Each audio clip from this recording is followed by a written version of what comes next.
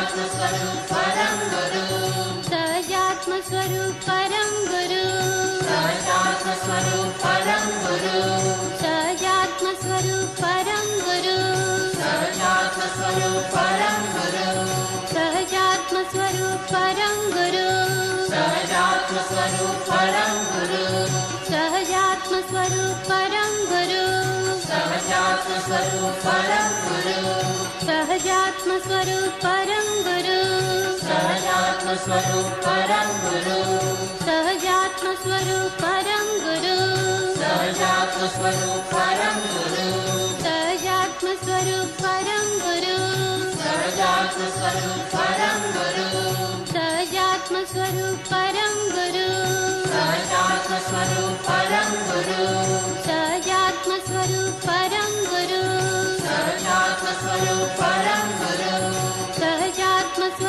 परं गुरु सहजात्मस्वरूप परं गुरु सहजात्मस्वरूप परं गुरु सहजात्मस्वरूप परं गुरु सहजात्मस्वरूप परं गुरु सहजात्मस्वरूप परं गुरु सहजात्मस्वरूप परं गुरु सहजात्मस्वरूप परं गुरु सहजात्मस्वरूप परं गुरु सहजात्मस्वरूप परं गुरु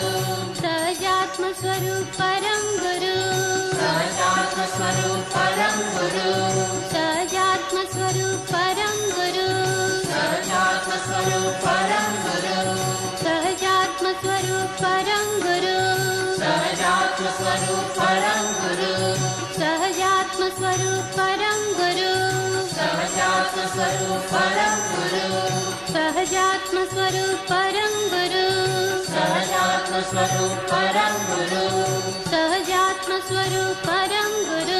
सहजात्मस्वरूपरं गुरु। सहजात्मस्वरूपरं गुरु। सहजात्मस्वरूपरं गुरु। सहजात्मस्वरूपरं गुरु। सहजात्मस्वरूपरं गुरु।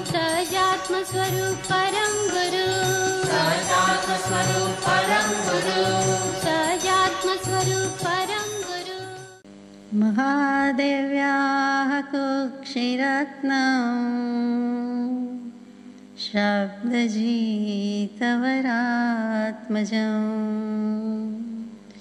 राजचन्द्रम् अहं वन्दे तत् लो च न दायकम् समस्तवस्तु मानाय तमोग्ने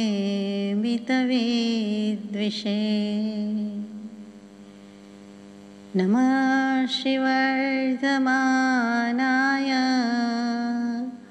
नमो नमितविद्विषे अज्ञानतिमिरन्धानां ज्ञानाञ्जनशलाकया चक्षुरुन्मीलितं येन तस्मै श्रीगुरवे नमः સત્શ્રુતને નમસ્કાર, અસીમ ઉપકારી આત્માને નમસ્કાર, તારક ત્રિપુટીને નમસ્કાર માવિત્રોને નમસ્કાર માવિત્રો સમાન મુરબીઓ, મુમુક્ષોને નમસ્કાર. પ્રત્યેક શુદ્ધાત્મ દ્રવ્યને નમસ્કાર. પરમ કૃપાળુ દેવું પ્રણીત વચનામૃતજી, પત્રાંક નવસો તેત્રીસ. ઓમ નમઃ. કોને લખાયો છે? તે આ પત્ર અનુપલબ્ધ છે. એટલું જ નહીં, પણ એના પર તિથિ પણ નથી. અનુમાન કે મન માનવા એમ પ્રેરાય કે આગલા દિવસે એટલે પત્રાંક નવસો બત્રીસની જે તિથિ છે, તે જ તિથિએ આ પત્ર લખ્યો હોય. એટલે કે વવાણિયા જ કૃપાદેવ બિરાજમાન છે. વવાણિયાથી જ્યેષ્ઠ વદી દસમ, વિક્રમ સંમત ઓગણીસો છપ્પન, તારીખ બાવીસ છ ઓગણીસો. પણ એ અનુમાન છે, એમ હોઈ શકે છે. અપૂર્વ શાંતિ અને સમાધિ અચળપણે વર્તે છે. કુંભક રેચક, પાંચે વાયુ સર્વોત્તમ ગતિને આરોગ્ય બળ સહિત આપે છે. પત્ર પૂરો થઈ જાય છે. સુખલાલભાઈ વિરમગામવાસી ઘણી બધી ચિંતા કરે છે અને એમણે પરમ કૃપાદેવના દર્શન કર્યા છે. ચિત્રપટ જે લીધું છે. ખબર છે કે કૃષ કાયા છે. મનોબળ કે આત્મબળથી જ એ પરમાત્મા ચાલ્યા છે, બાકી એ ચાલી શકે નહીં એવી સ્થિતિ હતી. બેસતી વખતે નીચે પદ્માસન વાળીને હાથની નીચે ટેકા લેવા પડ્યા હતા. એટલે સુખલાલભાઈ સમજે છે, જાણે છે, એ કૃપાળદેવનું સ્વાસ્થ્યમાં અત્યારે ગરબડ ચાલે છે. ત્યાર પછીની આ બધી વાત હોય તેમ લાગે છે. અપૂર્વ શાંતિ અને સમાધિ અચળપણે વર્તે છે. કૃપાદેવ સાંત્વન સમાધાન કરાવી દે છે કે તમને કોઈને ચિંતા થતી હોય તો ભલે થતી હોય, અહીંયા તો અપૂર્વ શાંતિ વિદાય છે. જુઓ, શાંતિ લખાતું હતું પરમ શાંતિ લખાતું હતું હવે સ્પષ્ટતા કરે છે કે આવી અપૂર્વ શાંતિ, અપૂર્વ, એટલે કે પ્રાયોર ટુ પહેલાં નહોતી એવી, આજ સુધીમાં ક્યારેય નહોતી એવી અપૂર્વ શાંતિ, એટલે કેવલ જ્ઞાન બીજું શું સિવાય બીજું શું હોઈ શકે એમ પ્રશ્ન થાય. તો કે અપૂર્વ શાંતિ છે. આ કંઈ શરૂઆતની શાંતિ નથી, મિથ્યાત્વમાંથી સમ્યક દર્શન વખતની શાંતિ નથી, એ તો ક્યારની પ્રાપ્ત થઈ ગઈ છે? ક્ષાયિક સમ્યક દર્શન, શુદ્ધ ક્ષાયિક સમ્યક દર્શન, કોને કહેવાય? તો એ કેવલ જ્ઞાની પ્રભુનું શુદ્ધ ક્ષાયિક સમ્યક દર્શન છે. ક્ષાયિક સમ્યક દર્શનમાં વળી બે ભાગ પડે, ચોક્કસ પડે. શાસ્ત્રોક્ત વાત છે કે જ્યાં સુધી કેવલ જ્ઞાન નથી, ત્યાં સુધીનું અશુદ્ધ ક્ષાયિક સમ્યક દર્શન છે. ક્ષાયિક ક્ષાયિક સમ્યક દર્શન ચોક્કસ છે. એટલે સાથે સાત પ્રકૃતિનો ક્ષય કરેલો છે, એમાં ના નથી. આત્માનુભવ પણ એક સરખો જ છે, પરંતુ બીજા બધા કશાય હજી બાકી છે. ક્ષાયિક સમ્યક દર્શન ભલે હોય, દર્શન મૌર્યનો ક્ષય કર્યો છે, ચારિત્ર મૌર્યનો ક્ષય બાકી છે. ઉપશમ કરવાનો બાકી છે, એટલે અશુદ્ધ ક્ષાયિક સમ્યક દર્શન. કૃપાદેવે તો પદ લખ્યું ધન્ય રે દિવસ આહો.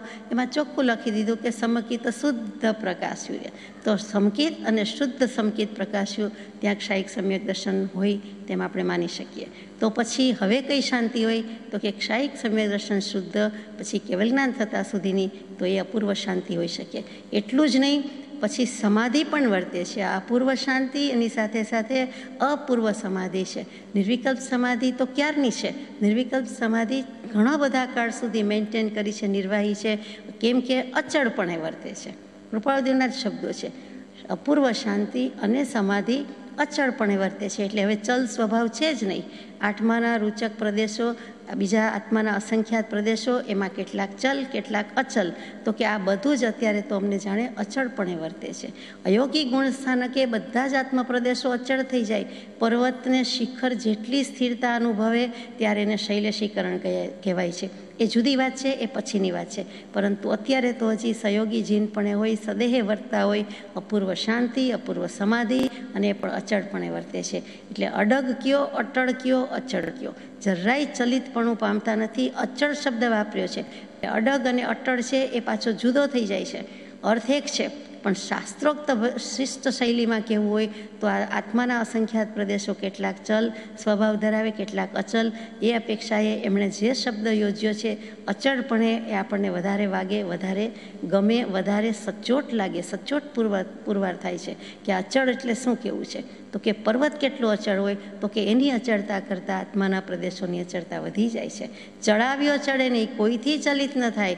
ગમે તેવા વિકાર વિભાવના પરિણામ આવે, નિમિત્ત આવે, પોતાના સ્વભાવમાં મુસ્તાક છે, એમાં કાંઈ ફેર પડતો નથી. કંઈ એક પરમાણુ માત્ર, પૂતગલ માત્ર કે કાંઈ પાંદડું માત્ર હલી શકતું નથી, હલાવી શકતું નથી. એવી સ્થિતિ વર્તે છે આ કૃપાળુની દશા તો જુઓ. કુંભક રેચક પાંચે વાયુ. હવે વાયુની વાત આવી, હવે શરીરની વાત આવી, હવે દ્રવ્ય પ્રાણાયામની વાત આવે. તો કે ત્રણ પ્રકારના મુખ્ય પ્રાણાયામમાં કહીએ દ્રવ્ય પ્રાણાયામમાં કુંભક, પૂરક અને રેચક. તો કુંભક પ્રાણાયામ એટલે શું? તો કે નાક અને મોઢું બંધ રાખતી વખતે શ્વાસને જે રોકી લેવામાં આવે છે તેનું નામ કુંભક પ્રાણાયામ. કુંભ એટલે ઘડો, કળશ.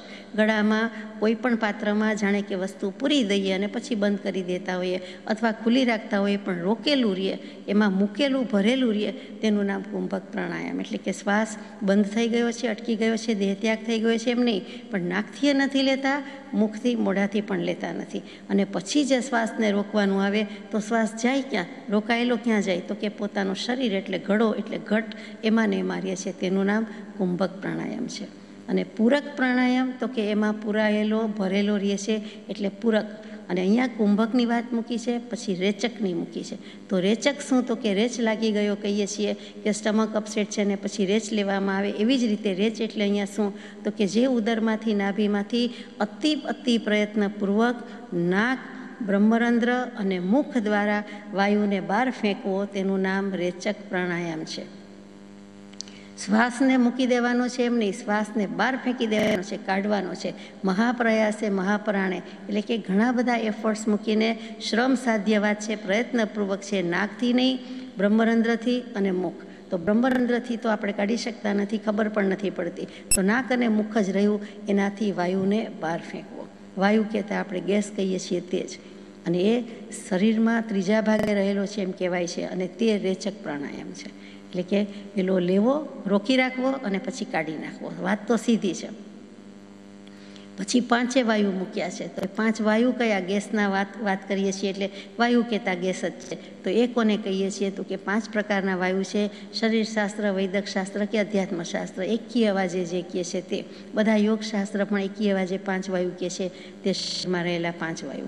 પહેલો વાયુ કયો છે તો કે પ્રાણવાયુ આપણે ઓક્સિજન કહીએ છીએ તે. એ શ્વાસોચ્છ્વાસનો વ્યાપાર કરે છે તે. શરીરમાં કે શરીરને ઓક્સિજન મળે છે, હવા મળે છે, એટલે જે શ્વાસ અને ઉચ્છ્વાસ કરે છે, વ્યાપાર એટલે એની એક્ટિવિટી પ્રવૃત્તિ.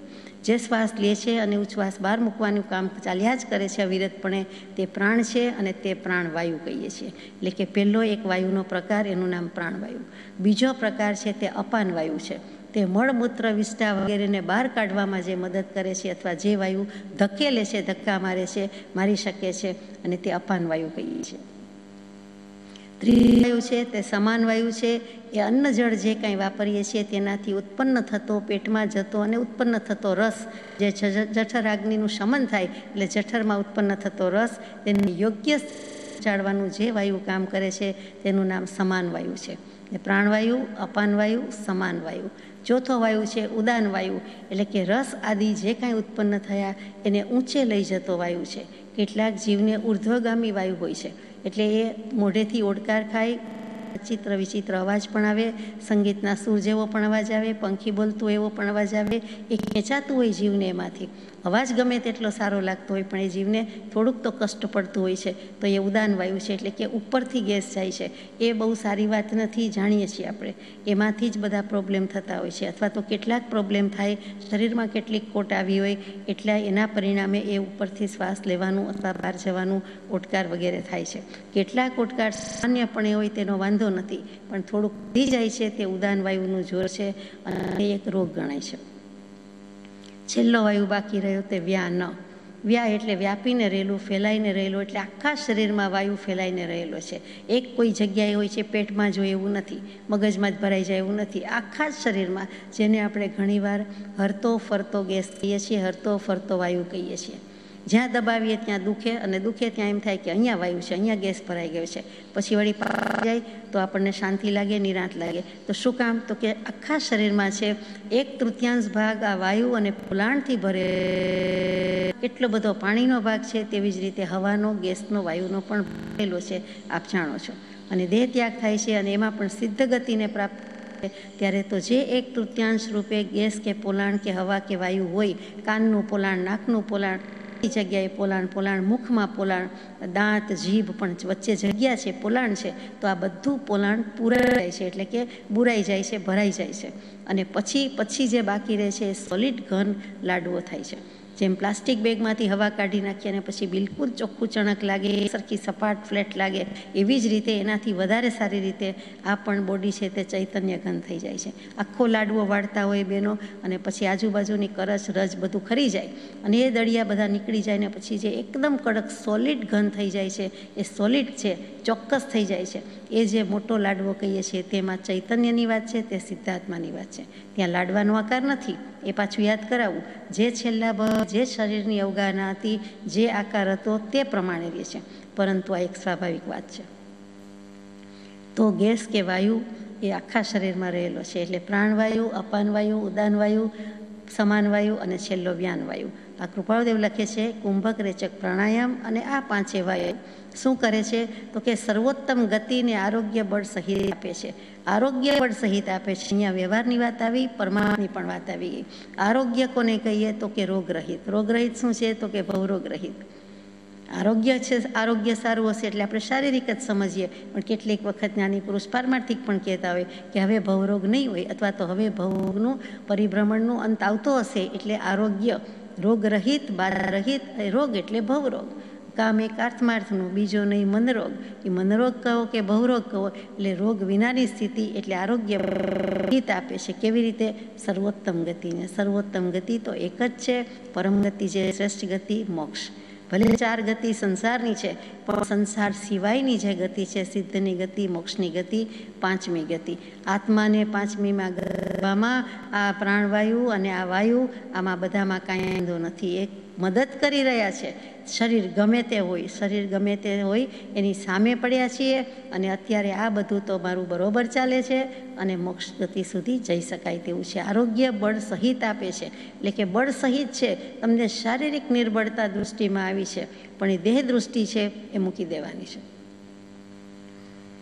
આગળ જઈએ. પત્રાંક નવસો ચોત્રીસ, વવાણિયા, જ્યેષ્ઠવદી અમાસ, બુધ વિક્રમ સંવત ઓગણીસો છપ્પન તારીખ સત્તાવીસ છ ઓગણીસો. પ્રસ્તુત પત્ર મોરબીવાસી સાક્ષર શ્રી મનસુખભાઈ કિરતચંદભાઈ મહેતાને લખાયો છે. પરમ પુરુષને અભિમત એવા અભ્યંતર અને બાહ્ય બંને સંયમને ઉલ્લાસિત ભક્તિએ નમસ્કાર. પરમ પુરુષને તીર્થંકર દેવને દેવાદિદેવને અભિમત ઈષ્ટ જે છે એમને જે માન્ય છે, એમણે જે સંમત કરેલો છે, એવો આભ્યંતર સંયમ એને પણ હું નમસ્કાર કરું છું અને બાહ્ય સંયમને પણ હું નમસ્કાર કરું છું. કેવી રીતે? તો કૃપાળદેવ કહે છે, ઉલ્લાસિત ભક્તિ. હું પણ માનું છું કે ધોરી માર્ગ રાજમાર્ગ તો સંયમ લઈને, સર્વસંગ પરિત્યાગ લઈને, દીક્ષા લઈને, બહાર પડીને પોતાનું અને લોકોનું કલ્યાણ કરવું તે છે. કેવલ જ્ઞાનની પ્રાપ્તિ માટે પણ આ સર્વસંગ પરિત્યાગ હોય તો સુગમ પડે. એટલે એમણે જે આંતરિક ત્યાગ તો છે જ, પણ બાહ્ય ત્યાગ છે. બંને સંયમને એમણે ઉલ્લાસિત ભક્તિએ નમસ્કાર કર્યા છે. ઉલ્લાસિત ભક્તિ જેમ તે ન હોય. અત્યારે પ્રભુશ્રીજીને નમસ્કાર કરે તો રોમાંચિત ભક્તિથી નમસ્કાર. પોતે મનસુખભાઈને કહે છે કે આ દેવાધિદેવને હું ઉલ્લાસપૂર્વક ભક્તિથી નમસ્કાર કરું છું કે હે પરમ કૃપાળુ દેવ, હે દેવાધિદેવ, હે તીર્થંકર દેવ, તમે જે માર્ગ કયો છે તે તો તેમ જ છે. એટલે કૃપાળુ દેવ પણ એ સ્વીકારે છે, સંપૂર્ણપણે સ્વીકારે છે કે વાત તો સાચી જ છે કે સર્વસંગ પરિત્યાગ તેને જ કયો છે. પોતે વ્યાખ્યા પણ મૂકી કે આત્મધ્યાન અખંડપણે, મુખ્યપણે ન રખાવી શકે એવા સંઘનો ત્યાગ તેનું નામ સર્વસંગ પરિત્યાગ. અહીંયા દીક્ષા શબ્દ નથી, સંયમ છે. અને સર્વ ભાવથી વિરામ પામવું તે પરમાર્થ સંયમ છે. એટલે ત્યાં આંતરિક સંયમ, આભ્યંતર સંયમ, પરમાર્થ સંયમ એ તો ક્યારનોય લઈ ચૂક્યા છે. સંયમિત જ પણ જગત સમાજને, લોકોની દૃષ્ટિએ કે મનભાઈને થતું હોય કે આ બધું કલ્યાણ થઈ વધારે થઈ શકે સૌભાગભાઈ પછી મનસુખભાઈને એમ થાય છે કે દીક્ષા વગેરે હોય, ત્યાગ હોય, નિવૃત્તિ છે હવે તો એ સારું પડે. એટલે લખે છે કે હું પણ એ બંનેને ઉલ્લાસિત ભક્તિથી નમસ્કાર કરું છું. ખરેખર તો એમના માતુશ્રીથી એમણે છેલ્લે છેલ્લે સંમતિ પણ માગી છે. તો સંમતિ કચવાતા મને પછી સરખી રીતે પણ માતુશ્રી આપેલી છે કે હવે તમે સાજા થઈ જાઓ એટલે મને વાંધો નથી. પણ એ સાજા થવાનું આપણા ભાગ્યમાં નહોતું. એટલે કે આપણને એ રીતે મળી શક્યા નહીં, લોકોને મળી શક્યા નહીં. સમાજ એ રીતે પીછાણી શકત પણ નહીં. બન્યું છે, થાય છે તે યોગ્ય જ છે, પણ આ તો એક સમજવા માટે છે. છત્રીસમે વર્ષે એમને દીક્ષાનો યોગ લે એવી પૂરેપૂરી શક્યતા. પરંતુ આયુષ્ય તેત્રીસ વર્ષને પાંચ માસ ને પંદર દિવસમાં પૂરું થઈ ગયું. એટલે એ ન બની શક્યું. મોક્ષમાળા વિશે જેમ તમને સુખ થાય તેમ મનસુખભાઈએ પૂછાવ્યું છે કે મોક્ષમાળા વિશે મારે શું કરવાનું છે? તો કૃપાળદેવે પહેલાં સલાહ સૂચન આપેલા જ હતા. અને આપેલા જ છે કે ઉપોદઘાત કેવી રીતે લખવું અને પછી તમારે શબ્દાંતર, અર્થાંતર કરવાની જરૂર પડે તો જ્યાં જરૂર પડે ત્યાં કરવું. બાકી ક્યાંય અંડરલાઈન તો કરવી જ નહીં, પાઠકને, વાંચકને એનો અભિપ્રાય ઉગવા એ આપણે જાણીએ છીએ. પાછું કંઈ પૂછાવ્યું છે તો કૃપાળદેવ વિશે કહે છે કે જહા સુખમ તમને જેમ સાતા સુખ ઉપજે, તમને જેમ યોગ્ય લાગે. પછી જે મૂક્યું છે કે મનુષ્યપણું આર્યતા જ્ઞાનીના વચનોનું શ્રવણ, તે પ્રત્યે આસ્તિક્યપણું સંયમ, તે પ્રત્યે વીર્ય પ્રવૃત્તિ, પ્રતિકૂળ યોગોએ પણ સ્થિતિ, અંત પર્યંત સંપૂર્ણ માર્ગરૂપ સમુદ્ર તરી જવો એ ઉત્તરોત્તર દુર્લભ અને અત્યંત કઠણ છે, એ નિર્દે છે. આ દસ બોલની દુર્લભ બતાવી દીધી છે. મનુષ્ય ભવ તો દેવોને દુર્લભ અને દસ દૃષ્ટાંતે દોહિલો આપણે જાણીએ જ છીએ. એ મનુષ્ય ભવની દુર્લભતાની વાત અત્યારે આપણે કરતા નથી. કેમ કે પહેલાં થઈ ગઈ છે અને બીજું કે આપણે અત્યારે મનુષ્યપણામાં છીએ જ, એ પર્યાયમાં છીએ જ. એટલે એ સોપાન તો સિદ્ધ કરી ગયા છે. આગળ શું છે તો કે આર્યતા. એટલે કે ઉત્તમતા. એટલે મનુષ્યો તો બધાય છે, કોઈને ભિખારીપણું પણ આવે છે, કોઈ રાજા પણ થાય છે, કોઈ રાજેશ્વરી તે નરકેશ્વરી એવા પાપ દોષમાં પડે છે, કોઈ કસાઈનો આવે છે, કોઈ બીજી જગ્યાએ જન્મે છે, અથવા તો અનાર્ય ભૂમિમાં જન્મે છે, અથવા અનાર્ય આચરણ થાય છે. એટલે હિંસામાં જ ધર્મ માને એવી આર્યતા બર્બરતા જંગલિયત પણ હોય છે. તો કે એની બદલે આપણે ઉત્તમ મનુષ્ય, ઉત્તમ આર્ય પુરુષ તો થયા, આર્યતા તો આવી, આના આપણામાં અમુક સજ્જનતા, ઉત્તમતા, સંસ્કારિતા તો છે. જ્ઞાનીના વચનોનું શ્રવણ. આ બીજો બોલ પણ સર કરી ગયા, ત્રીજો બોલ છે કે જ્ઞાની પુરુષના વચનો સાંભળવા આપણને ગમે છે. જ્ઞાન પ્રત્યે રુચિ છે, જ્ઞાની પ્રત્યે રુચિ છે. તો જ્ઞાનીના વચન પ્રત્યે તો પ્રેમ કે રુચિ હોય જ, માત્રાનો ફેર હોય, બાકી શ્રવણ કરવું ગમે છે. ત્યાં સુધી પણ ગયા, એટલે ભગવાન ધર્મ, અધ્યાત્મ સન્મુખ પણ થયા, થઈએ છીએ. તો જ્ઞાનીના વચનોનું શ્રવણ. જુઓ, શ્રવણ બહુ મોટી વાત છે અને સાચું શ્રવણ તો ગ્રહણપૂર્વકનું શ્રવણ છે. સાંભળ સાંભળ કરીએ પણ મનન ન કરીએ, સાંભળ સાંભળ કરીએ પણ આચરણ ન કરીએ, અમલમાં મૂકીએ નહીં, તો એને શ્રવણ કહ્યું નથી. જ્યાં શ્રવણ વાત આવે, ત્યાં શ્રવણ નામની વાત નથી, શ્રવણ અર્થની વાત છે કે શ્રવણ એટલે ગ્રહણપૂર્વકનું શ્રવણ. ત્યાર પછીનો બોલ છે, તે પ્રત્યે આસ્તિક્યપણું.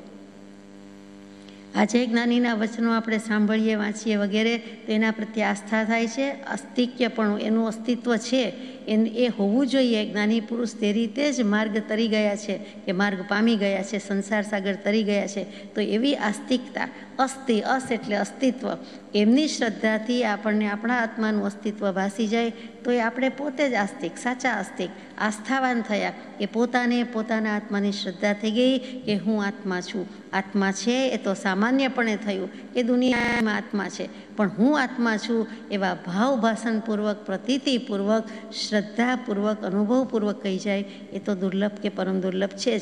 તો કે તે પ્રત્યે આસ્તિક્યપણું. પહેલાં તો સત્પુરુષના વચનનું શ્રવણપણું અને શ્રવણ કર્યા પછી એની પ્રત્યેની આસ્થા. અને એ દૃઢ આસ્થા થાય, દૃઢ પ્રતીતિ થાય, એટલે પોતાના અનુભવ પર આવે જ જીવ. આવવું જ જોઈએ. નહીં તો તેને જ્ઞાનીના પુરુષના, પોતાની જ્ઞાની પુરુષની, પોતાની જ્ઞાની પુરુષના વચનની પ્રતીતિ નથી.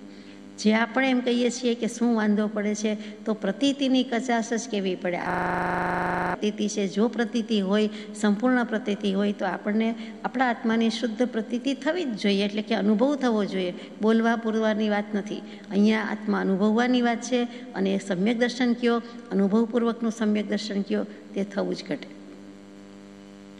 સંયમ. ત્યાર પછી એને કંઈક વ્રત નિયમ પછખાણનો ભાવ થાય અથવા દીક્ષાનો ભાવ થાય, સર્વસંગ પરિત્યાગનો ભાવ થાય, નિવૃત્તિનો ભાવ થાય. કમસે કમ કાંઈ ન કરે તો વિભાવ પરિણતિમાં જવાનું મન તો ન જ થાય. એટલે કે સ્વભાવમાં રહેવાનું જ ગમે. એ પણ સંયમ છે. સર્વભાવથી વિરમી જવું એ પરમાર્થ સંયમ. અને એ ભાવથી વિરમી જાય તો સંપૂર્ણ શાંતિ થાય એમાં નવાઈ નથી. તે પ્રત્યે વીર્ય પ્રવૃત્તિ. એના પ્રત્યેનો જે ઉલ્લાસ થવો જોઈએ, પુરુષાર્થ થવો જોઈએ, ઉત્સાહ હોવો જોઈએ, વીર્યના અર્થ છે. જે યોગ પ્રગટી જવો જોઈએ, જે શક્તિ પ્રગટાવી જોઈએ, કે આત્માની અનંત શક્તિ, અને હું કંઈ વાપરતો જ નથી યુટિલાઇઝ કરતો નથી. બધા કહે, ઘણા જીવ કહે કે સમાજમાં આપણે જન્મ્યા, રહ્યા, ભણ્યા, કમાયા, વાપર્યું, તો સમાજ પ્રત્યે આપણું ઋણ નથી, દેશ પ્રત્યે ઋણ નથી, રાષ્ટ્ર પ્રત્યે ઋણ નથી, તો આપણા આત્મા પ્રત્યે ઋણ નથી. દેહ ભક્ત ઘણા છે દેશભક્ત ઘણા છે, દેવભક્ત પણ ઘણા છે. પણ આત્માના ભક્ત, શુદ્ધાત્માના ભક્ત, ગુરુના ભક્ત તો કોઈક જ છે. એટલે તે માટે વીર્ય પ્રવૃત્તિ, જે ઉલ્લાસ, ઉત્સાહ, બળ હોવો જોઈએ, જે પ્રફુલ્લિતતા હોવી જોઈએ, જે પ્રસન્નતા હોવી જોઈએ, કે આ ભવે આત્માની અનંત શક્તિ છે, બીજાની અનંત શક્તિના પરચા જોવા સાંભળવામાં આવે છે, તો આપણે કંઈ કમ છીએ, આપણે પણ આત્મા જ છીએ અને આત્મા તો બધા એક સરખા જ છે. અનંત શક્તિમાં કોઈ ફેર નથી, કોઈએ પ્રગટ કરી, કોઈએ ન પ્રગટ કરી. બધા ભણી શકે એમ છે, પણ કેટલાક ભણ્યા, એને સંજોગ મળ્યા, કેટલાક ન ભણ્યા, કેટલાકે પુરુષાર્થ ન કર્યો. એવું જ આમાં છે કે વીર્ય શું કામ નથી આપણામાં વીર્ય નથી, અનંત વીર્ય પડ્યું છે, અનંત ગણો પુરુષાર્થ થઈ શકે એમ છે. બધા જ સેલ એક્ટિવેટ કરી દઈએ તો કેવલ જ્ઞાન છે અને પછી મોક્ષ છે. પણ શું કામ નથી કરતા? તો કે એને વિશ્વાસ જ નથી કે હું કરી શકું. હું પામર શું કરી શકું એવું ગાય. પણ પછી એની સામે હું અનંત ચતુષ્ટયનો સ્વામી છું, શુદ્ધ ચેતનાનો સ્વામી ચોક્કસ થઈ શકું. ચેતન છું, ચેતન જ થઈ શકે, જળ થઈ શકતો નથી. એમ જે ઉલ્લાસ થવો જોઈએ અને આ ભવે થવું જોઈએ. હવે પછી ઉપર મુકાય તેવું નથી. એક ભવ વધારે કે થોડા ભવ વધારે સહી એમ જરાય નહીં. ભવ પરિભ્રમણ થયું તે થયું. હવે ભવનો આંટો ઊંધો ફરવો જ જોઈએ, હવે આંટા ઓછા થવા જ જોઈએ. નહીં તો પછી આ મનુષ્ય દેહનું, મનુષ્ય ભવનું કે કૃપાળદેવને વાંચ્યા વિચાર્યાનું ફળ શું છે? સત્સંગનું ફળ શું છે? ભક્તિનું ફળ શું છે? જો ફળ આવે નહીં, તો કામનું શું? તો ફળ એની મેળે આવવાનું છે, આપણે વાવીએ તો આવવાનું છે. એટલા માટે વાવવા માટે પણ આ વીર્ય પ્રવૃત્તિ જરૂરી છે. આપણી પાસે છે જ અને વાપરવાનું છે. ઘણીવાર કહીએ કે જ્ઞાન ધન વિદ્યાધન વાપરીએ તો વધે. આમાં પણ એવું છે, કરીએ તો વધારે થાય. એ ગમે ત્યાંથી આવશે જ, પાણી વાપરીએ ખોટી નહીં જાય. છેવટ વરસાદ પણ આવશે અને વધી જશે. ટાંકા ખલાસ થઈ જાય ટેન્ક ભરેલી ખલાસ થાય. પણ કેટલો વિશ્વાસ છે, શ્રદ્ધા છે, અનુમાન છે કે પાછા નેક્સ્ટ યર વિશ્વાસ છે, ચોમાસું છે, વરસાદ આવશે જ, તો આપણને આપણા આત્મા ઉપર વિશ્વાસ ન હોય કે આપણે પરમાર્થની વર્ષા કૃપાળુદેવે દુકાળિયા વર્ષમાં પણ વરસાવી છે. તો આપણે કંઈ કોરા રહી જવાના છીએ કે કોરા શા માટે રહીએ? આપણામાં આપણને જ શ્રદ્ધા એટલે સેલ્ફ કોન્ફિડન્સ નથી. સેલ્ફ કોન્ફિડન્સ હોવો એ પણ એક મોટો ગુણ છે. શું કામ ન થાય, કેમ ન થાય લઈને ન જઈએ? અને પછી પણ શું કામ? નાવ આ લાઈફમાં અને રાઈટ નાવ હવે કાલ કાલ પડતી જ નથી. આપણે જાણીએ છીએ વાતે વાતે. કોઈ પણ વાતમાં કાલ કોઈ દિવસ પડે છે. કાલે કરશું એટલે શું? જ્યાં કાલ થાય છે ત્યાં તો એ આ જ પરિણમી જાય છે. એટલે કાલ કદી આવતી નથી. દીવા પાછળ અંધારું થઈ જાય અને પછી પછી પછવાડું ને આડી આવી ભીંત કહીએ છીએ એવું થઈ જાય છે. પાછો બીજો ભવ. શું બીજો ભવ? શું કામ બીજે? પછીથી ક્યારે? અત્યારે યોગ મળ્યો કૃપાદેવ મળ્યા તો અને પાછું એમણે ગેરંટી આપી છે કે અમ થકી કલ્યાણ થશે, બીજેથી નહીં. જો આ વર્તમાન કાળમાં કોઈ જીવોનું કલ્યાણ થવું સૃજિત હશે, તો અમ થકી બીજેથી નહીં. આખા વચનામૃતજીમાં એની નીચે લીટી કરી અંડરલાઇન કરી, બાકી ક્યાંય નહીં. તે શું સૂચવે છે કે કલ્યાણ થઈ શકે છે અને એના આ વચન વંચાય છે, વાંચીએ છીએ, પ્રયાસ કરીએ છીએ સમજવાનો, તો પછી આપણને ન થાય? થવું જ જોઈએ. આપણને ખુમારી હોવી જ જોઈએ અને આ ભવે જ લઈને જવાનું છે. આગળ જઈએ કે પ્રતિકૂળ યોગોએ પણ સ્થિતિ. ચાલો, અહીંયા સુધીના શિખર સર કરી જતા જઈએ છીએ કે આટલું આટલું તો આપણામાં અંશે પણ છે, અથવા તો કરવાના છીએ. પણ પ્રતિકૂળ યોગ આવે તો કે પ્રતિકૂળ યોગ આવે તો જોઈ લેશું, પણ સ્થિતિ. એમાં પણ અમારો આત્મા ઊભો રહેશે. અણનમ વિકેટ નોટ આઉટ અમને કાંઈ થવાનું નથી, આત્માને ગોબો ડેન્ટ પડ્યો નથી, તો આત્માના ભાવને પણ વિચલિત નહીં થવા દઈએ. જો આત્મપ્રદેશો વિચલિત નથી થતા એમનેમ રહી શકે છે, એને કોઈ નુકસાન પહોંચાડી શકતું નથી, તો પછી અમારા યોગ પણ એવા હશે, એટલે કે મન વચન કાયાના યોગ અને આત્મા. તન, મન, ધન અને આત્મા આત્મામાં ઊભા રહેશું, આત્મામાં જ સ્થિતિ કરીશું. અંત પર્યંત સંપૂર્ણ માર્ગરૂપ સમુદ્ર તરી જવો.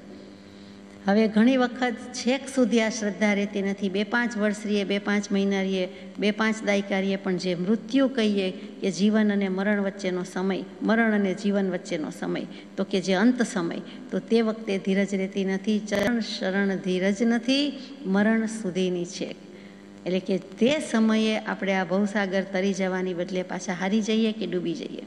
કર્યું એડે જવાનું નથી. એનો ડર રાખવાનોય નથી કે છેલ્લે શું થશે. પણ જો અહીંયા સુધી આવી ગયા, આટલા બોલ સુધી આવ્યા, તો ભવસાગર તરી જવાના. એટલે કે છેલ્લે લડાઈમાં જીતી જવાના. સંગ્રામ સાચો એ છે, ભાવ સંગ્રામ એ છે કે અંત સમયે સમાધિ મરણ થવું. સમાધિપૂર્વક દેહ ત્યાગ કરવો. સમ્યક દર્શન વિના સમાધિ મરણ હોઈ શકતું નથી. સમ્યક દર્શન લઈ લીધું હોય, જીવતા જીવે. જ્યારે કંઈક તબિયતની અનુકૂળતા હોય, સંયોગની અનુકૂળતા હોય, પોતાનો સમય પાક્યો હોય પુરુષાર્થ કરી ગયો હોય, પછી પછી જે થવાનું હશે તે થશે. પણ ત્યારે તો કે સમ્યક દર્શન લઈ લીધું હશે તો છેલ્લે સમાધિ થવાના ચાન્સીસ છે. એટલે તો માર્ગરૂપ સમુદ્ર તરી જવો. એ ઉત્તરોત્તર દુર્લભ અને અત્યંત કઠણ છે. કૃપાળદેવે કહી દીધું છે. પીઠ થાબડી છે, શાબાશી આપે છે, પ્રોત્સાહન છે, પ્રેરણાના ઇન્જેક્શન છે, સાથે સાથે કંઈ પણ દીધું છે કે ચરી પણ પાડવાની છે, ધ્યાન પણ રાખવાનું છે. ઉત્તરોત્તર દુર્લભ છે, સમજીએ છીએ કે વસ્તુ સ્થિતિ જ એવી છે કે આ એકથી બીજો બોલ દુર્લભ છે, બીજાથી ત્રીજો, ત્રીજાથી ચોથો. અને છેલ્લો તો મરણ વખતની વાત કરી. એક એકથી ચડિયાતા છે એક એકથી દુર્લભ છે અને અત્યંત કઠણ છે. પછી પહેલું જેટલું સહેલું છે, આ કાકતાલીય ન્યાયથી આપણને કાગને બેસવું ને ડાળને પડવું અને બહુ પુણ્ય સંચય થયા તો મનુષ્ય ભવ તો મળી ગયો. સમના સિદ્ધાંત પર દુર્લભ છે તો પણ મળી ગયો. પરંતુ પછીના જે એક એક બોલ છે એ અઘરા થાય છે અને માનો કે મળી ગયા, તો પણ આ વાત એસ્ટાબ્લિશ્ડ ફેક્ટ છે.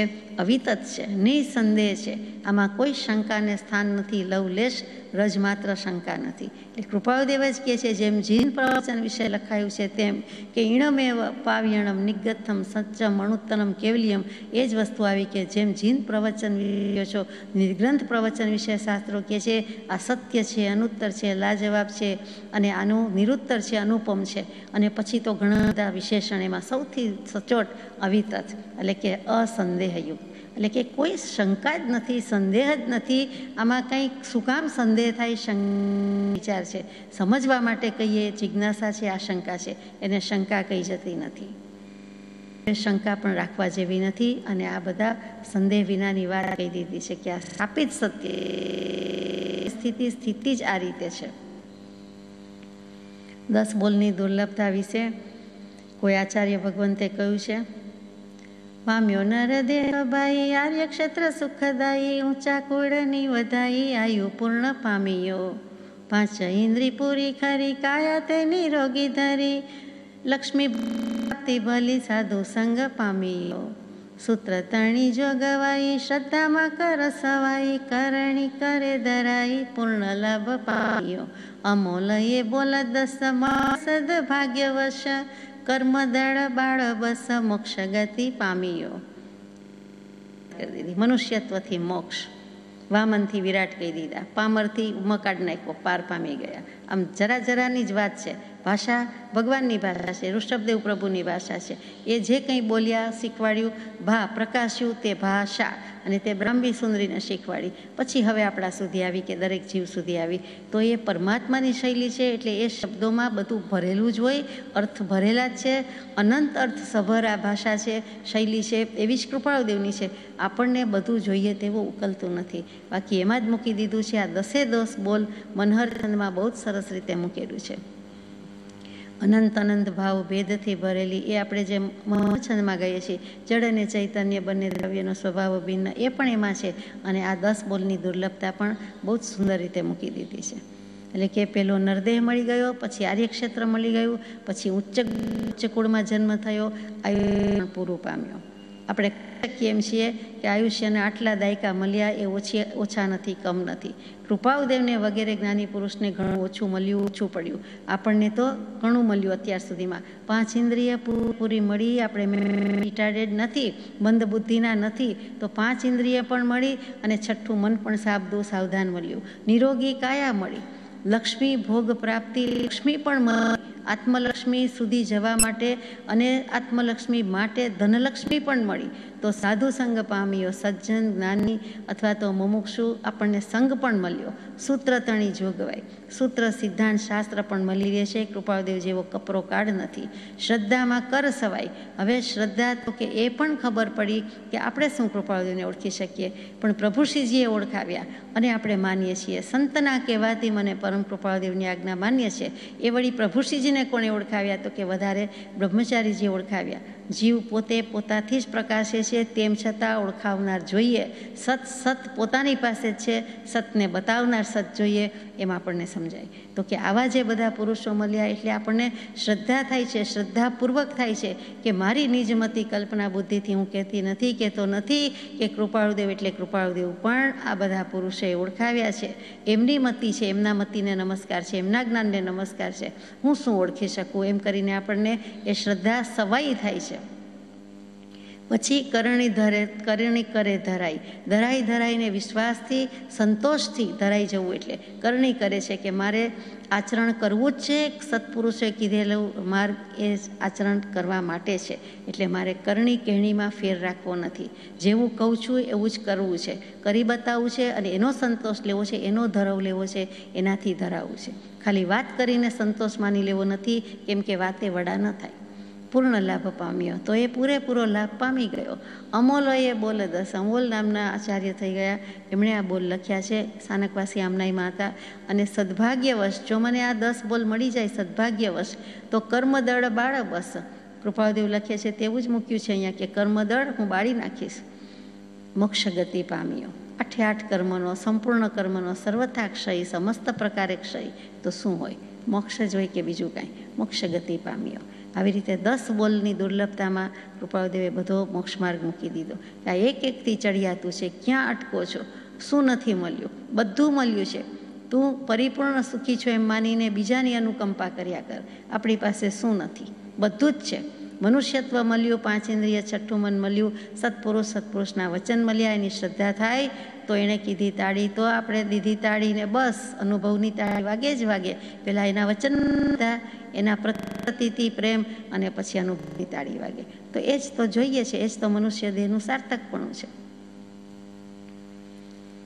જે પ્રમાદમાંથી કાઢવા છે ને એની જ બધી વાત છે. ગમે તેમ કે બધું મળ્યું છે, પણ પ્રમાદ વસાત જિંદગી જાય છે. ત્રીજો, ચોથો ભાગ ઊંઘમાં જાય એટલે શું એ જ વિચાર આવે એવું છે. શરીર પ્રકૃતિ કવચિત ઠીક જોવામાં આવે છે, કવચિત તેથી વિપરીત જોવામાં આવે છે. કંઈક અશાતા મુખ્યપણું હમણાં જોવામાં આવે છે. અહીંયા સ્પષ્ટતાપૂર્વકનો જવાબ કૃપાળદેવે આપ્યો છે, કારણ કે બીજે બધે ચિંતા કરે છે. તો મનસુખભાઈને પણ જણાવ્યું છે, મોરબી છે, નજીક છે, કે કવચિત ઠીક ક્યારેક ઠીક હોય છે, ક્યારેક અઠીક. એટલે તેથી વિપરીત જોવામાં આવે છે, અઠીક લખતા નથી. કવચિત ઠીક ક્યારેક ઠીક લાગે છે, હવે ઠીક વિચારવાનું છે, ઠીક કોને કહીએ? આપણે બહુ જ વ્યવહારમાં વાપરતા હોય છે, ગમે ત્યારે કહી દઈએ કે ઠીક. એટલે ઠીક એટલે સૌ સામાન્ય કરી નાખ્યું છે, કે સામાન્ય એનો અર્થ થાય પણ છે. અને બીજું છે કે પ્રમાણમાં સારી કમ્પેરેટિવલી ઓકે કમ્પેરેટિવલી ગુડ એમ આપણે કહીએ, સામાન્ય સારી છે, સામાન્ય સારું છે.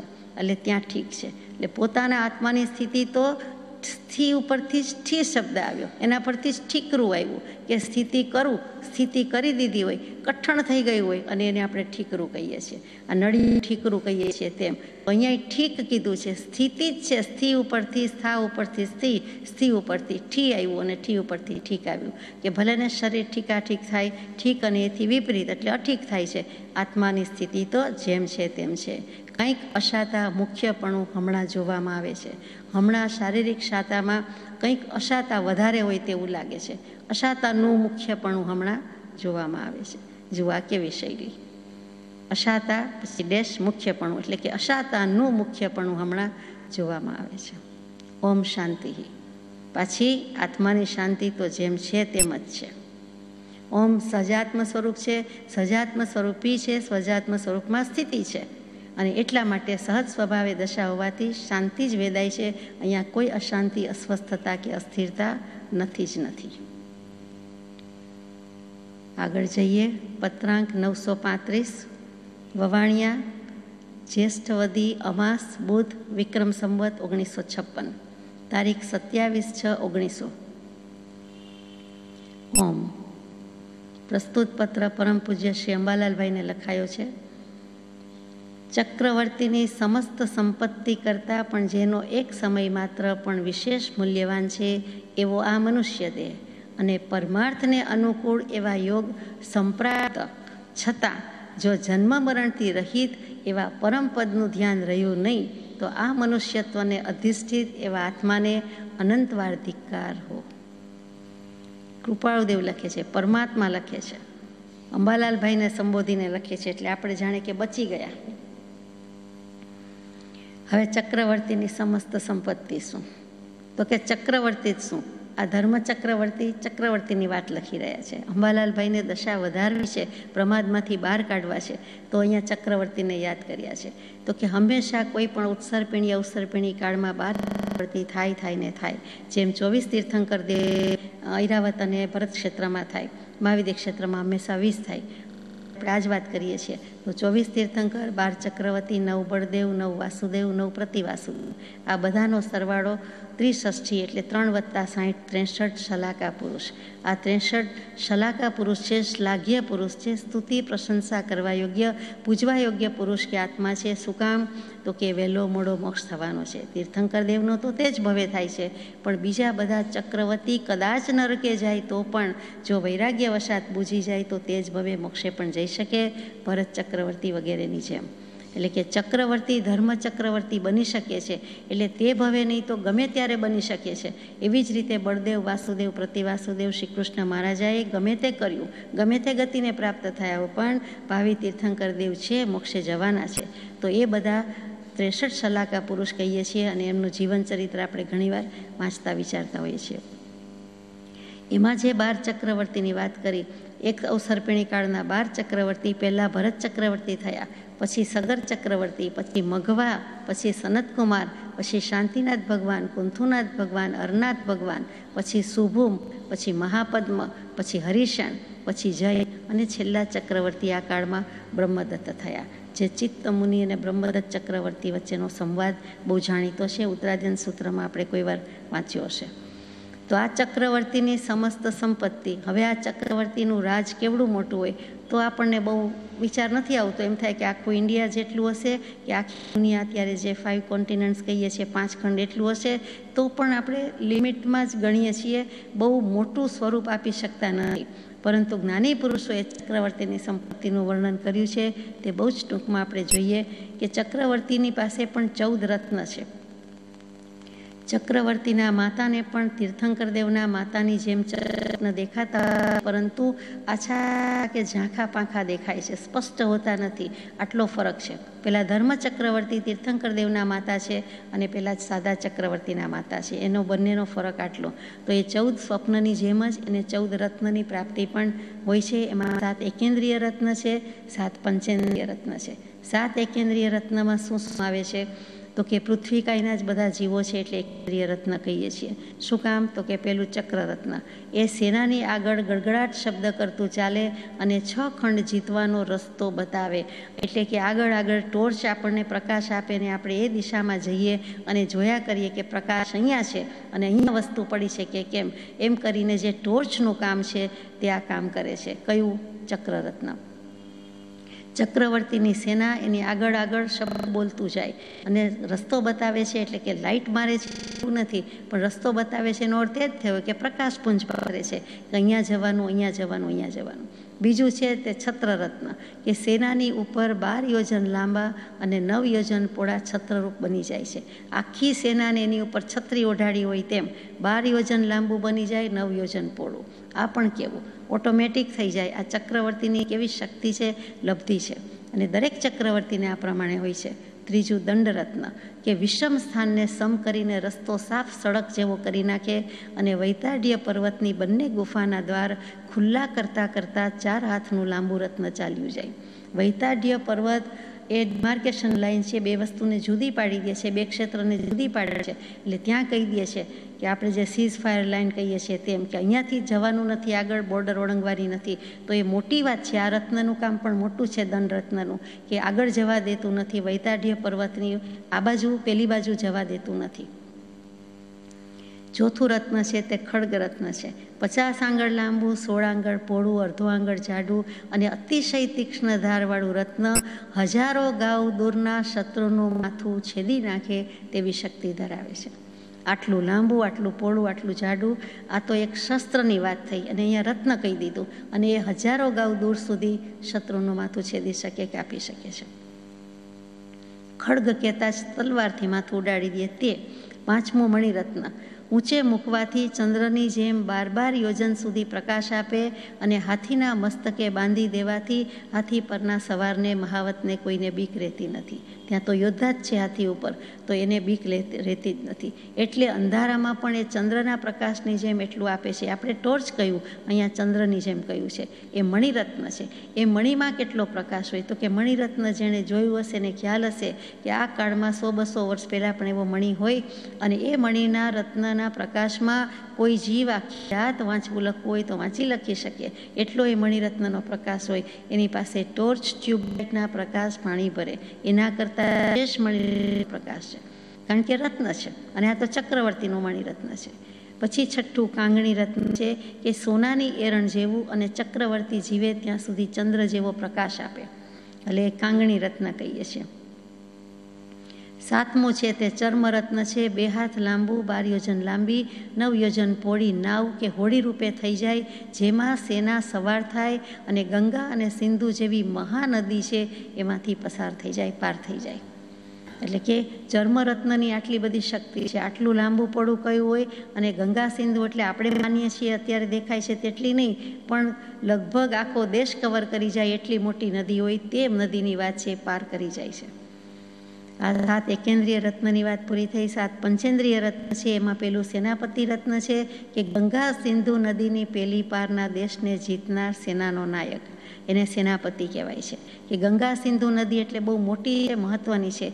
એની પેલી પાર એટલે કે એક નદી જેમ બે ગામ જુદા કરે છે, તેમ બે દેશ જુદા કરે છે. અને તે પેલી પારની સેનાનો નાયક છે, સેનાપતિ. બીજું ગાથાપતિ રત્ન છે. આ બધા મનુષ્ય રત્ન એટલે પંચેન્દ્રિય રત્નની વાત હવે આવે છે.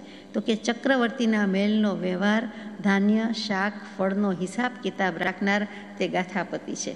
અકાઉન્ટન્ટ આવ્યા. બધું જ જે કાંઈ છે, ચક્રવર્તીનું આટલું બધું મહેલ મોટો, પરિવાર પણ મોટો, એ બધાનો વ્યવહાર અથવા અનાજ, શાક ગ્રોસરીઝ વેજીટેબલ્સ ફ્રૂટ્સ જે કાંઈ કયો તે બધાનો હિસાબ કિતાબ રાખનાર રત્ન. ત્રીજું સુથાર રત્ન છે. એ તક્ષક કે વર્ધકી રત્ન મહેલ, મંદિર, સૈન્ય માટે લાકડાના પુલ બાંધી દેનારું છે. આપણને ઝૂલતો પુલ યાદ આવી જાય. તો કે લાકડાના મેલ પણ બાંધી દે એટલે એક જગ્યાએથી બીજી જગ્યાએ જવા માટે એ પુલની સહાય લેવામાં આવે છે. પુલ કેવી રીતે? તો કે સુથાર રત્ન જ છે એટલે તક્ષક કે વર્ધકી મેલ અથવા આવા મંદિર ફટાફટ બાંધી દે છે, થઈ જાય છે. એ લાકડાના પુલ પણ લબ્ધિ સિવાય જલ્દીથી બંધાય કેવી રીતે? પછી પુરોહિત રત્ન છે એ શાંતિ કર્મ કરનાર છે, એટલે કે ગોર મહારાજનું કામ કરનાર, શાંતિ પુષ્ટિ દેનારનું બધું કામ કરનારનું મહારાજનું કામ કરનાર છે, અને એને હાથ નીચે ત્રણસો રસોઈયા છે. ત્યાર પછી પાંચમું સ્ત્રી રત્ન છે, જેને શ્રીદેવી કહેવાય છે. એ છન્નું હજાર રાણી ઉપરાંત અતિ સુંદર એક પટરાણી કે મહારાણી હોય છે, તે સ્ત્રી રત્ન કહેવાય છે. બધાને કહેવાતું નથી, આ એક છે, હેડ છે, ઉપરી છે. છન્નું હજાર રાણી ઉપરાંતના જે છે તે છન્નું હજાર એકમાં તે શ્રીદેવી પટરાણી. અશ્વરત્ન એ છઠ્ઠું છે, જેમાં પવનંજય ઘોડો તમિશ્રી ગુફામાંથી ઝેરી પવન નીકળતા બાર યોજન સુધી દોડનાર, આકાશમાં છલાંગ મારનાર છે. આવું તો અશ્વ છે, પવનંજય ઘોડો નામ પણ એવું છે, તમિશ્ર ગુફા, નરકમાં હોય તેવી ગુફા. એમાંથી જે ઝેરી પવન નીકળે બાજન સુધી દોડી જનારા અને આકાશમાંથી છલાંગ મારે. એટલે ઉપરથી પ્રગટે એમ તો કે ના, એટલું ઊંચે સુધી દોડી શકે તેમ. અને સાતમું ગજરત્ન. એ સામા પક્ષની હાથીની સેનાને વ્યૂહરચનાથી જ વીખી નાખનાર. વિખેરી જ નાખે ગજરત્ન હાથી. હાથી માતેલો હોય, મદમાતો હોય કે મદોન્મત હોય અને જેમ બધા ભાગ નાસભાગ કરી છૂટે, બધાને વેરવિખેર કરી નાખે. ઝાડ ઉખેડી નાખે, માણસ મારી નાખે, પાડી નાખે. તો કે એવી રીતે એ જે ગજરત્ન છે સામાની સેનાની કોઈ પણ વ્યૂહરચના હોય, સ્ટ્રેટજી હોય, એને વીખી પીખી નાખે. વિંધી નાખે એમ નહીં, પણ વીખી પીખી નાખે. વેરણ શેરણ કે છિન્ન ભિન્ન કરી નાખે છે. તો આ ચક્રવર્તીના સાત એકેન્દ્રીય રત્ન, સાત પંચેન્દ્રીય રત્ન. ચક્રવર્તીના નવનિધિની વાત આવે તો કે આઠ ચક્ર ઉપર રહેલી, બાર યોજન લાંબી, નવ યોજન પોળી, આઠ યોજન ઊંચી એવી મંજુષા એટલે કે એ ગંગા નદીના મુખ આગળ રહે છે છ વિજય પછી ચક્રવર્તીની સાથે પાતાળ માર્ગે નગરમાં આવે છે. કોણ? આ નિધિ. ભંડાર, ખજાનો. ખજાનો ચાલે છે, પૈડા આવી ગયા, મંજુષા પેટી, કેવડી મોટી પેટી, આખા ગામ જેવડી પેટી. અને એ ગંગા નદીના મુખ પાસે રહેતી હોય છે, પણ છ ખંડનો વિજય થઈ જાય, પછી ચક્રવર્તીની સાથે પાતાળ માર્ગે, એટલે આપ જાણો છો, એવી રીતે પહોંચી જાય છે, નગરમાં આવી જાય છે. પેલું નૈસર્પ નિધિ.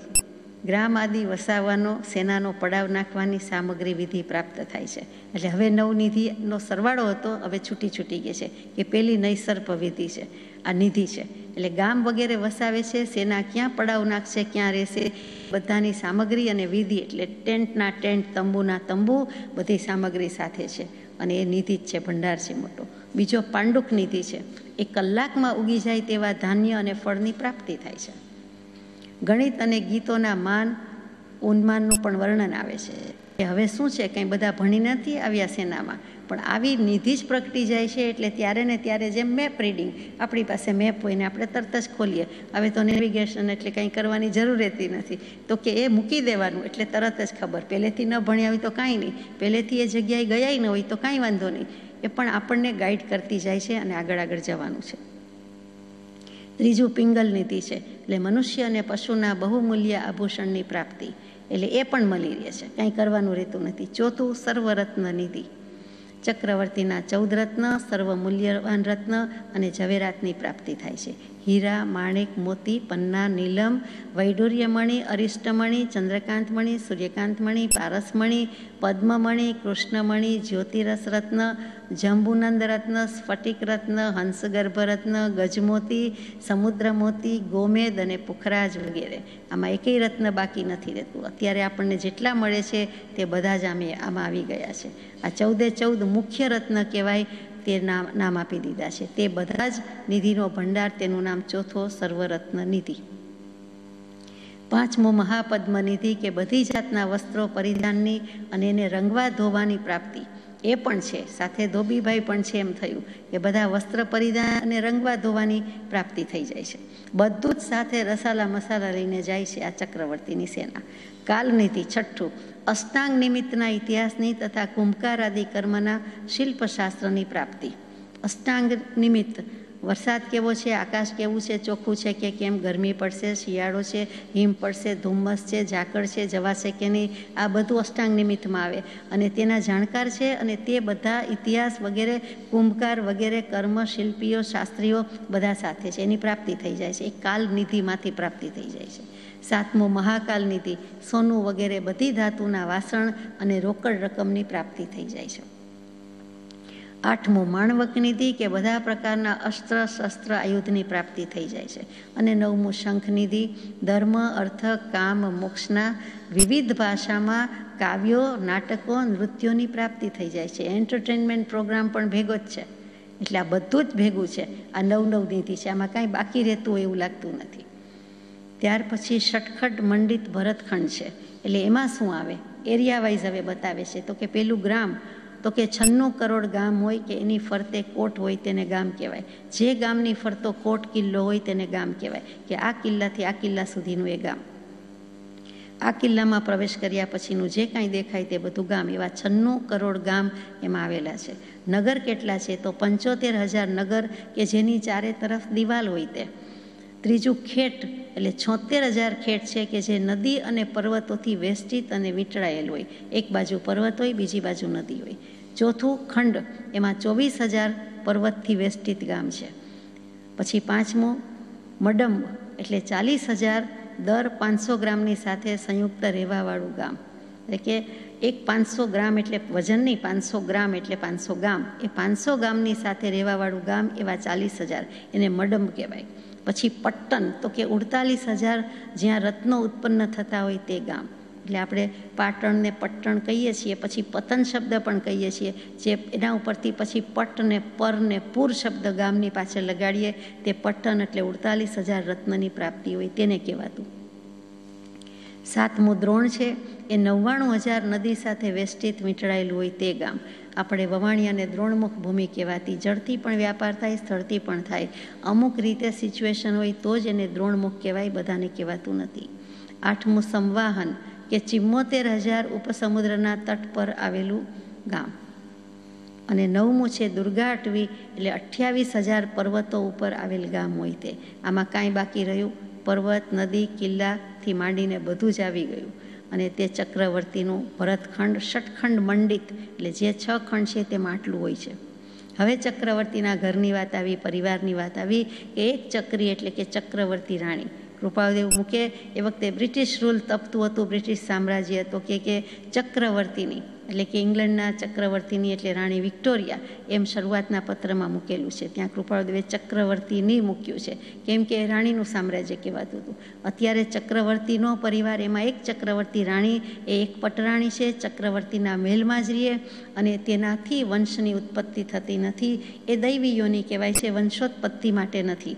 એ પટરાણીનું કામ એ નથી. ચક્રવર્તી વિક્રિયા લબ્ધિને કારણે છન્નું હજાર રૂપ ધરી અને છન્નું હજાર રાણી સાથે રહી શકે. અને એમને હજારોની સંખ્યામાં સંતાન હોય છે. બીજું જે છે, તે ત્રણ કરોડ અને પંચા, પચાસ હજાર જેટલા બંધુ વર્ગ કે મિત્રો હોય છે ફ્રેન્ડ સર્કલ કયો, ભાઈઓ કયો, વગેરે કયો. સાડા ત્રણ કરોડ એટલે શું? અને ત્રીજું, સૌધર્મ દેવલોકનો ઇન્દ્ર એનો મુખ્ય મિત્ર છે. એના હિંડોળે હિંચકવા આવે, એના મેલમાં બેસવા આવે. આપણે જાણીએ છીએ મકર સંક્રાંત પણ તે રીતે જ શરૂઆત થયું છે. તો વારંવાર મેલના હિંડોળે ધર્મચર્ચા પણ કરી જાય, અન્ય ગોષ્ઠી પણ કરી જાય. એટલે કે દેવલોકમાં રહેલો ફ્રેન્ડ પણ ત્યાં આવે અને ચક્રવર્તી એની સાથે વાત કરે, હસે, બોલે. સામાન્ય રીતે આપણે કહીએ કે દેવો આપણને દેખાય નહીં. રૂપ લઈને આવે એટલે દેખાય, પણ આપણને દેખાતા નથી એમ કહીએ છીએ. અહીંયા ઇન્દ્રની એટલે ચક્રવર્તીની પણ સ્પેશિયાલિટી છે, વિશિષ્ટતા છે. એનો પ્રિવિલેજ છે કે એને એ દેખાય છે, એની સાથે વાતો કરે છે વગેરે વગેરે. શરીરની સંભાળ રાખનારા ત્રણસો ને એકસઠ વૈદ્ય છે. આ ગણિત પણ કેવું? નહીં ત્રણસો સાહીઠ નહીં ત્રણસો પાસઠ. ત્રણસો એકસઠ વૈદ્ય. દરરોજનો એક એક હોય તેમ. ઇતર વૈદ્ય પાછા ત્રણસો એકસઠ. એટલે ત્રણસો એકસઠ સ્પેશિયાલિસ્ટ હશે ને ત્રણસો એક જનરલ હશે એમ આપણને લાગે, સામાન્યપણે લાગે. ત્યાર પછીની વાત છે. ખડે પગે પેરો ભરે તેવા છત્રીસ નહીં પણ ત્રણસો સાહીઠ તો અંગરક્ષક છે બોડીગાર્ડ ચોવીસ કલાક અને ત્રણસો સાહીઠ અંગરક્ષક. સમય સમય કે મિનિટ મિનિટ સાથે હોય એવા ત્રણસો સાહીઠ બોડીગાર્ડ તો ભેગા ને ભેગા. સાતમું સ્વયં પાકી રસોઈયા, એ પણ ત્રણસો સાહીઠ છે. આ બધું ત્રણસો સાહીઠનું ગણિત કંઈક હોવું જોઈએ. વરસના દિવસ ગણ્યા છે. એટલી તિથિ ગણી છે. રોજ ચાર કરોડ મણ અનાજ, દસ લાખ મણ મીઠું અને બોતેર લાખ મણ, બોતેર લાખ મણ ન હોય, બોતેર મણ હિંગ વપરાય. ચાર કરોડ મણ અનાજ, દસ લાખ મીઠું, દસ લાખ મણ મીઠું અને બોતેર મણ હિંગ વપરાય. આ ચક્રવર્તીનું રસોડું. બત્રીસ યક્ષદેવો, બત્રીસ ચામર ઢોળે. બાર યોજન સુધી સંભળાય તેવા ચોવીસ શંખ, ચોવીસ ભેરી, ચોવીસ પડહ વાગે. બત્રીસ હજાર દિવ્ય નાટ્યશાળા હોય. બત્રીસ હજાર સંગીત શાળા હોય. બત્રીસ હજાર દેશના, બત્રીસ હજાર મુકુટધારી રાજા હોય. બત્રીસ હજાર રાજાના, બત્રીસ હજાર સ્વામી હોય. સોળ હજાર ગણબદ્ધ દેવોના સ્વામી હોય. અઠ્યાસી હજાર મ્લેચ્છ રાજાના સ્વામી હોય. એક આર્યખંડ અને પાંચ મ્લેચ્છખંડનું રાજ્ય છે. એ અગત્યની વાત છે. છ ખંડમાં એક જ આર્યખંડ છે. બાકીના પાંચે પાંચ યવન કયો કે મ્લેચ્છ કયો કે અનાર્ય કયો તે ખંડનું રાજ્ય છે. એક કરોડ હળ છે. ત્રણ કરોડ ગોમંડલ ગોશાળા છે. એક કરોડ સોનાના વાસણ છે રસોઈ માટે.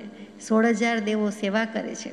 મન વાંછિત વસ્ત્ર આભૂષણ રત્ન દેવલોકમાંથી આવે છે. અખૂટ નવનિધિને લીધે મનમાં ચિંતવે કે કાર્ય પણ થઈ જાય. જેવો વિચાર કરે તો કાર્ય પણ થઈ જાય. નંદ્યાવર્ત નામનો ભવ્ય મહેલ છે. ઘણી વખત કોઈ ધર્મશાળા અથવા તો મોટું કાંઈ બાંધકામ કરવામાં આવે, મંદિર તો એનું નામ નંદ્યાવર્ત રાખે છે. નંદ્યાવર્ત એટલે નવખૂણાનો સાથીઓ, જેને આપણે ગહુલી કહીએ છીએ અથવા ઘઉંરી બોલીએ છીએ. સૌરાષ્ટ્રમાં ગહુલીનું અપભ્રંશ થઈ ગયું એટલે ઘઉંરી બોલે છે તે. તો કે એ નંદ્યાવર્ત છે એટલે નવખૂણાનો સાથીઓ છે. એવા આકારનો મોટો ભવ્ય મહેલ છે. દરરોજ મુનિને આહારદાનના ભવ્ય પ્રસંગની ઉજવણી કરે છે. કેટલું વિશિષ્ટ પુણ્ય હોય ત્યારે આવો યોગ મળે અને પાછું આહારદાન ભવ્ય રીતે કરે, ભાવપૂર્ણ રીતે કરે, તો એ આહારદાનનું પણ એને કેટલું વિશિષ્ટ પુણ્ય મળે એ વિચારવા જેવું છે. ચક્રવર્તીનું ઇન્દ્રિય બળ પણ કેવું તો કે સ્પર્શેન્દ્રિય નવ યોજન સુધી વિષયને જાણી શકે એટલે કે સ્પર્શી શકે. નવ યોજન દૂરથી પણ ખબર પડી જાય કે આ કેવું છે. ભારે છે, હલકું છે, સુંવાળું છે ખરબચું છે. રસ તો કે નવયોજન સુધીનો રસ જાણી શકે. જીભથી ચાખે ત્યારે ખબર પડે એમ નહીં, પણ નવ યોજન દૂર રહેલી કાકડી કેવી છે, મીઠી છે કે કડવી એ ખબર પડી જાય, જાણી શકે. ગંધ કેવી છે તો કે નવયોજન સુધીના વિષયો સૂંઘી શકે, એને ગંધ આવી જાય, જાણી શકે. ચક્ષુરિન્દ્રિયનો વિષય કેવો તો કે સુડતાલીસ હજાર બસો ત્રેસઠ અપોન ઓબ્લિક દસ એટલા યોજન સુધી જોઈ શકે. સવારે સૂર્ય વિમાનમાં રહેલા અકૃત્રિમ જિનાલયના દર્શન પોતાના મેલના ડ્રોઈંગ રૂમમાંથી લિવિંગ રૂમમાંથી કરી શકે. આ ચક્રવર્તી. મકર સંક્રાંતમાં પણ એમ જ છે. આમાં પણ એમ જ છે કે સવારના ઉઠીને સૂર્ય વિમાનમાં રહેલા જે અકૃત્રિમ જિનાલય છે એટલે કે શાશ્વતા લઈ છે, સૂર્ય ચંદ્રમાં રહેલા, અહીંયા સૂર્યની વાત છે, ચંદ્રમાં રહેલાની વાત નથી. તો કે એ જે રવેલા છે, એના દર્શન પણ એ ભેલમાંથી કરે એટલે બધા ઉગતા સૂર્યના પૂજે છે, દર્શન કરે છે, માંડ માંડ થઈ શકે છે. એમની તો ચક્ષુરિન્દ્રિય આંખની શક્તિ એટલી છે કે આર પાર એટલું જોઈ શકે છે. ડાયમંડ આવીને ક્યાંય મૂકી આવે એવી આંખ છે, એવી દૃષ્ટિ છે. એટલે એ શાશ્વતા જિનાલીના દર્શન કરી શકે છે. અને પાંચમું કર્ણેન્દ્રિય બાર બાર યોજન સુધી દૂરથી સાંભળી શકે અને ઘણી મોટી સેના હોય તે સેનાના છેલ્લા નંબરનો જે સૈનિક વાત કરતો હોય તેને સાંભળી શકે છે.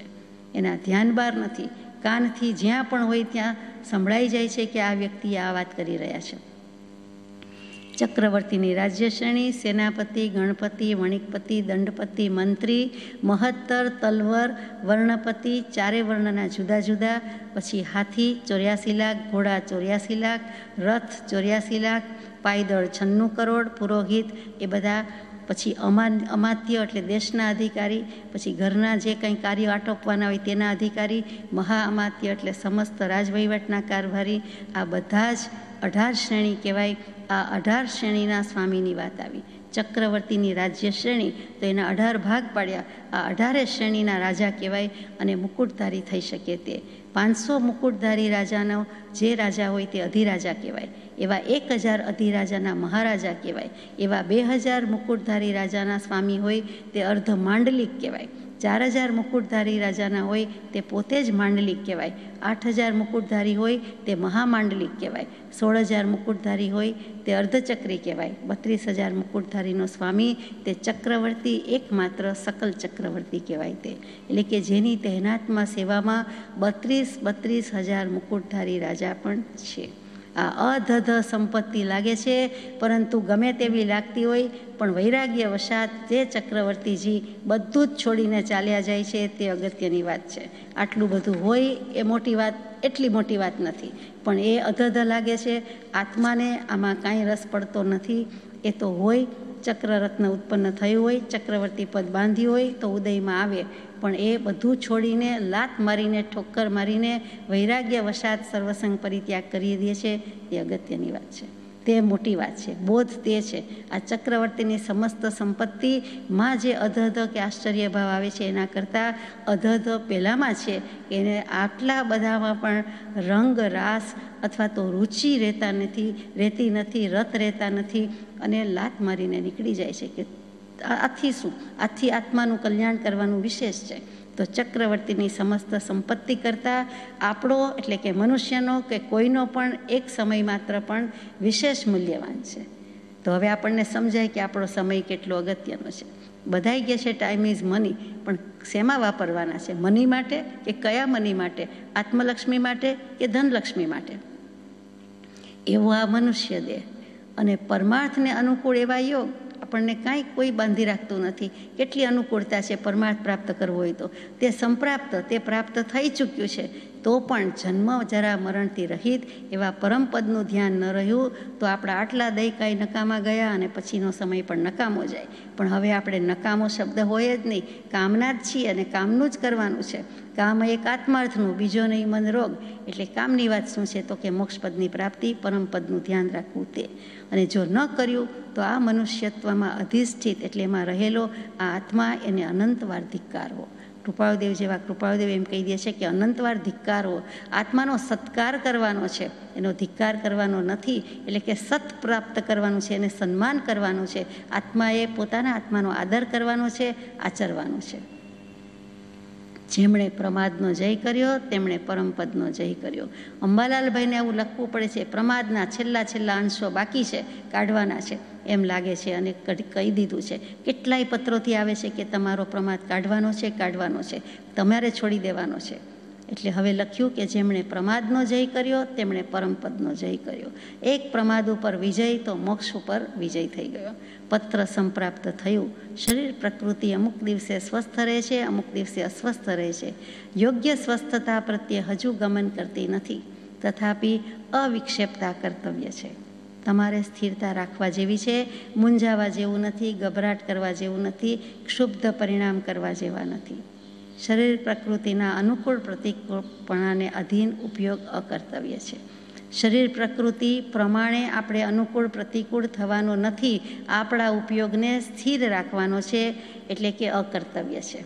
શરીર પ્રકૃતિ અનુકૂળ હોય કે પ્રતિકૂળ હોય, એને અધીન થવાનું નથી. એટલે ઉપયોગ આત્મામાં રાખવાનો છે. શરીર શરીરનું કામ કરે આત્મા આત્માનું કામ કરે. અહીંયા પત્ર પૂરો થાય છે. સજાત્મ સ્વરૂપ પરમ ગુરુ.